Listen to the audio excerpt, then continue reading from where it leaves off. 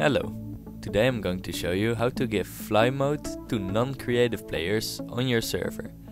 All you need for this is the Essentials plugin, link will be in the description. Then, give the players you want to be able to fly the essentials.fly permission node using a permissions plugin like PermissionsEx or Group Manager.